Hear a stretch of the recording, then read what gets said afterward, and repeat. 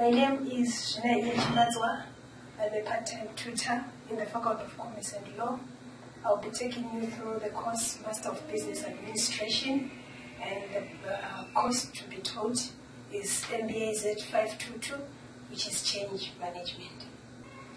Change Management uh, is the systematic approach and application of knowledge, tools and resources to implement change within an organization.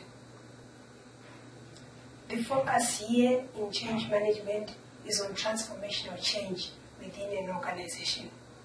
Transformational change is the strategic change uh, of uh, the modus operandi or the way we do our business within our organization.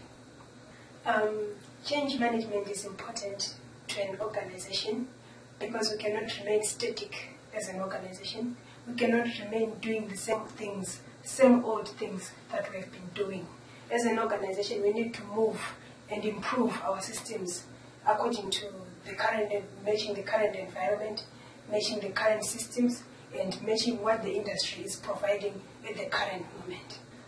Transformational change is often radical and drastic and differs from developmental, that is small and incremental uh, steps, or transitional, that is uh, dismantling the old state that we were in into the new state. When we are in rebuilding our organization or when we are transforming our organization, we need also to take into consideration that this change requires the change of our mindset, uh, the change of our behavior, as well as the ways we do our work, we work within our organization. Change management and cultural change are very important parts of a successful transformation uh, process. Now, who leads this transformational change? We have leaders in our organization who are responsible for uh, maintaining the vision, the strategy, uh, the mission, and the culture and values of an organization. These people are responsible for making sure this transformational change is well implemented. We also want to know what needs to be changed within an organization.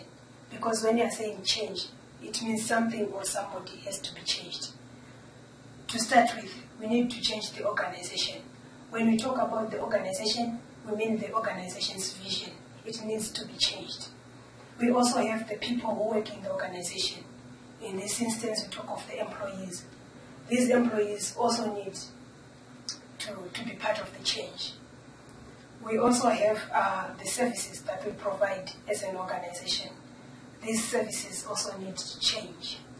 We also have the processes that we use when we are, uh, when we are providing our services. These processes also need to be changed.